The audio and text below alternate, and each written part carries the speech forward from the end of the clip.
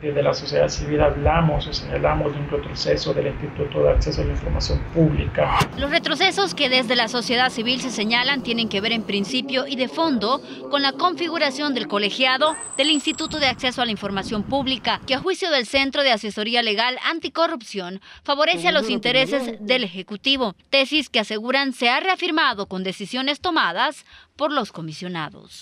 Un ejemplo claro es cuando el actual Pleno decide revocar criterio que hacía pública la información sobre las agendas patrimoniales, específicamente en este caso las que tienen vinculación con las del presidente de la República.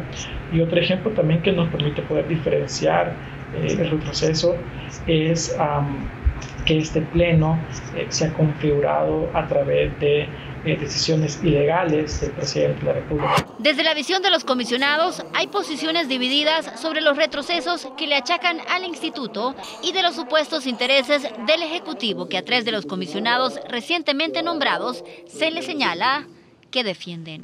Yo descarto de cualquier manera que haya una dinámica que se quiera hacer creer, tanto de socavar el trabajo del instituto como que se esté de una u otra manera anulando precisamente su competencia. No hay una dinámica en la que se pueda decir justamente eso de que se está eh, afectando o, privilegiando a un, órgano en, particular. Creo que las decisiones que se han venido tomando, que son decisiones que son muy sentidas de la población, eh, vienen en detrimento del derecho de acceso a la información pública. Y serían precisamente esos retrocesos los que habrían llevado a dos empleados a renunciar al instituto. Se trata del gerente jurídico y del jefe de la unidad de derecho de acceso a la información pública, confirma la comisionada Liduvina Escobar, aunque desde la presidencia del IAIP se desestiman esos argumentos.